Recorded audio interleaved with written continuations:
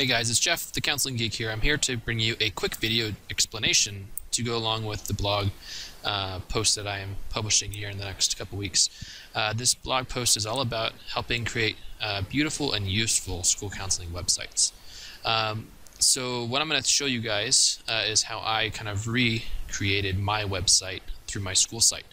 Um, I found that even though our school district recently changed um, website providers and platforms um, and improved it to a certain level, it was not doing for me what I wanted it to be able to do. So what I did was I went and actually created a different website that I had a little bit more control over. I could do some more things that I was looking to do with it. Um, so what I'm going to do is I'm going to show you guys how to really kind of manage the back end of a website provider called Weebly. You might be familiar with that, you might not. It's W E E B L Y and it's weebly.com to learn more about the program itself.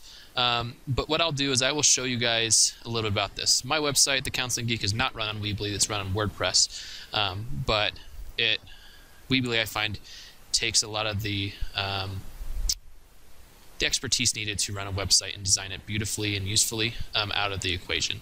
Um, where WordPress does similar things, it's a little bit more complex though and requires a little bit more know-how on the back end of things. So um, let's take a look at my current website. So this is a website I'm still working on it, and I'm tweaking things as I find out, you know, what I like or don't like, what parents and students are finding useful. Um, but this is all designed and run on Weebly, and so ultimately, um, all this is is drag and droppable uh, features in um, this Weebly uh, website creator, and so all of these menus all the really pretty things um, that have to do with images and effects and all this stuff make it look really, really professional. In fact, I have a number of people that have come up and told me, oh, did you have a professional designer help you with this? And I said, no, I did it all myself, and they looked rather impressed. Um, not really knowing that I run my own website on my own, but um, you know, they, they said it looked very professional, even more so potentially than our school website. So what I'll do is I'll take you in here, and basically if you go over to Web Weebly, this is what the homepage looks like at this you know date of recording. Um, but basically, in order to get started, and it is completely free. What you do on here is free. You'll lose a few features, but it is all free. So I would encourage you to look at it. If you want more information on pricing, there's information you can upgrade. For example, to get your own URL, um, to take away some of the branding, to do a few other um, things that in general, for most people, you can do without, um, but there is a paid product if you're looking for that. Um, in order to do that, just go ahead click sign up. I actually signed up with my Google account. You can log in with Google, create an account with Google um, through, say, a school account, which I did, and it's very easy. It's it, there, I don't even have to remember a username and password. Click sign up, and then once you do that, that's going to take you to basically a blank dashboard. And you can create multiple sites. I have one site here. Um, you can create multiple just by clicking this button and clicking add site. So if you have um, a different site that you wanted to run for some reason, you can easily manage it all from one place. Um, so, so basically, what that what you'll be doing when you get started with the website is deciding a few key things. Number one is going to be what your URL is. So you want to decide if you you know, want to name it a certain thing. I just called mine NTHS Counseling. You'll get a website that looks like this, nthscounseling.weebly.com. And on my school's website, I just redirect the link that says school counseling to this website. Um, if you don't have access or the know-how to do that with your website, you might want to talk to your web, um, whoever your webmaster is who manages your website, to make sure that that's a possibility.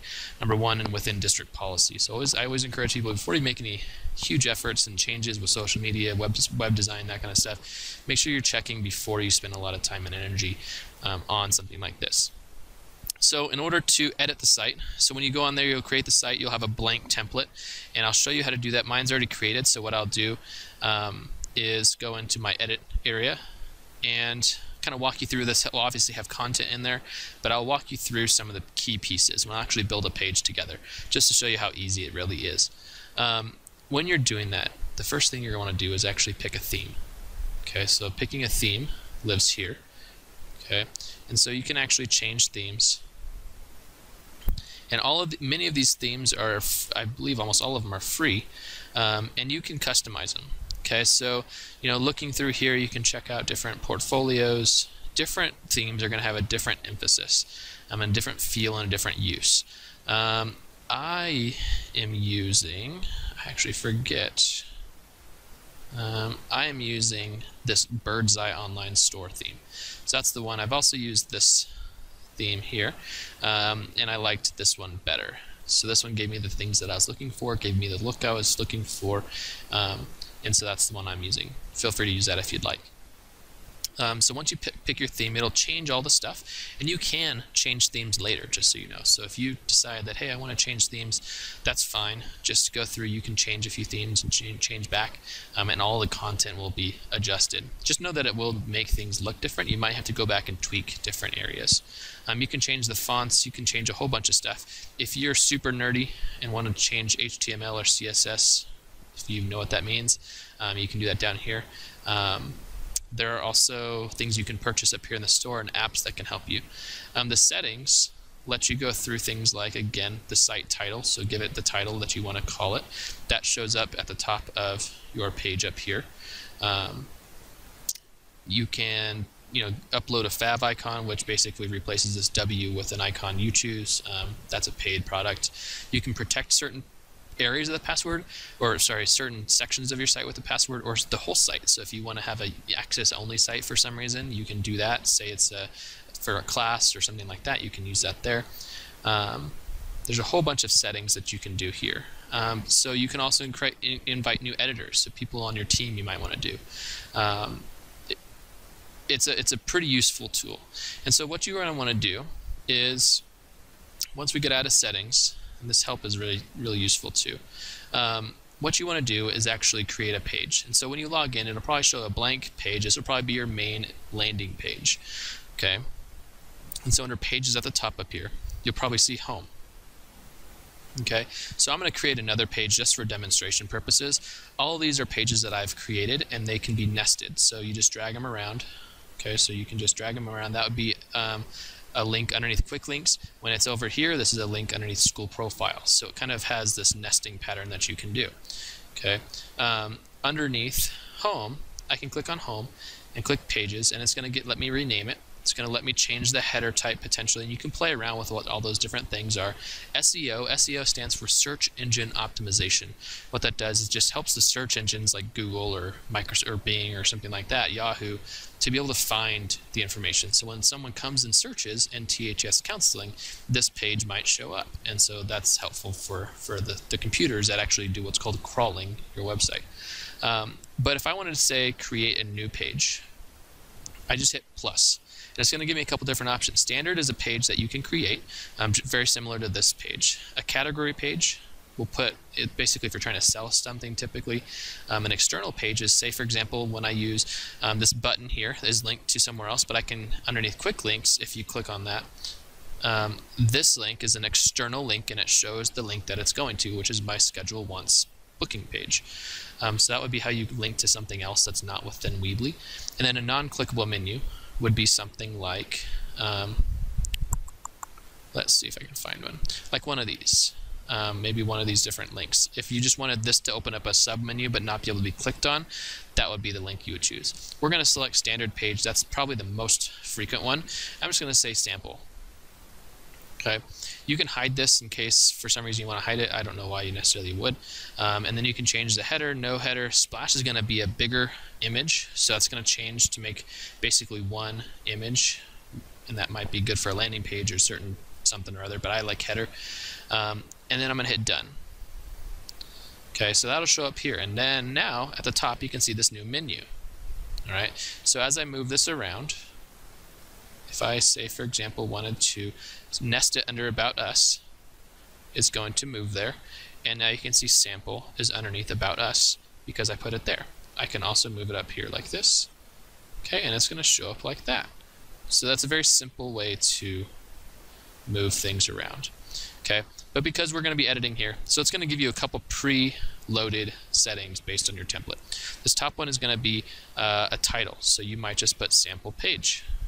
Okay, and it's set based on your um, your your template that you have chosen. You can add things up here as well too. I'll show you that in just a second. Say for example, you want to say, hey, I want to edit the background of this this page.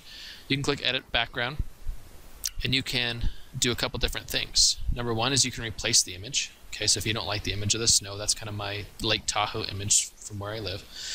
Um, what you can do is you can up, you can find pictures. One of my favorite websites for finding pictures is called Pixabay. Okay, and this is what it looks like. It's a free stock image website. So most stock images you have to actually buy. This provides free images, and they're pretty high quality, and you can find a lot of different stuff. So that's a great tool when you're building websites and things like that. So you can always upload an image. Um, make sure that it's a high quality, high resolution image. Typically, like 1920 by 1080. That's going to be full HD, and that's you know many phones, many computer screens are becoming more and more high definition. If you upload like half that size, when you do that, it's going to be pixelated and it's going to look really horrible. Okay, so you can do that. Um, you can import it from a URL. There's a lot of different ways.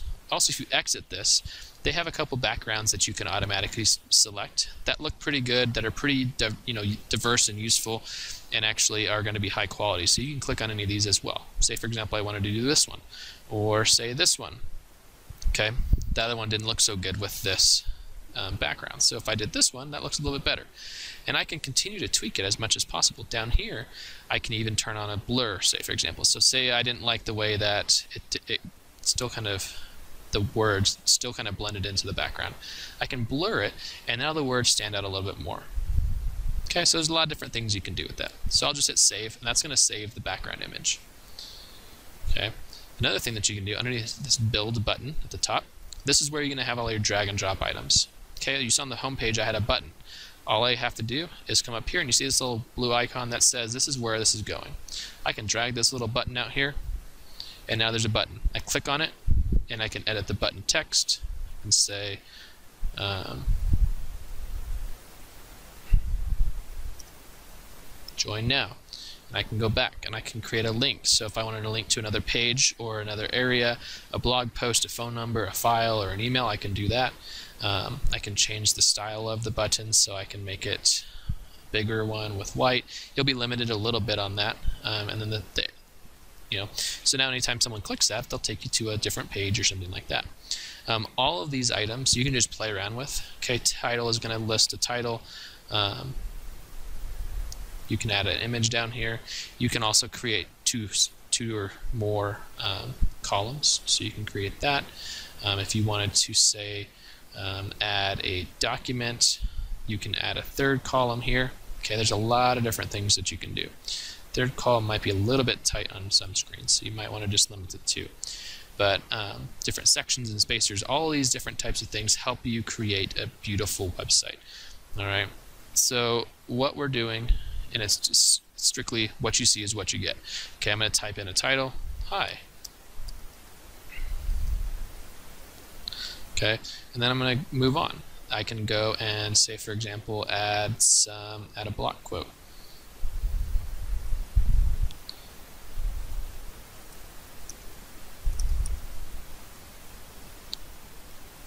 Okay, and it just helps things stand out. There's surveys. There's an RSVP form. Um, you, I, there are some add-on apps that you can add through this app store. For example, an accordion. That's another thing that you saw on my homepage.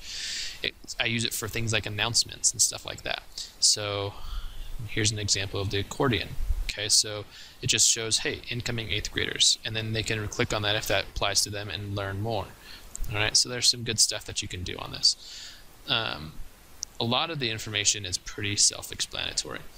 The one, the last thing I'll tell you about some of this stuff is I just showed you in less than maybe 10 minutes how to go and create a new website. What I want you to do though is think about how you want things to be used. Okay, you shouldn't have 10 or 12 different items on this top menu.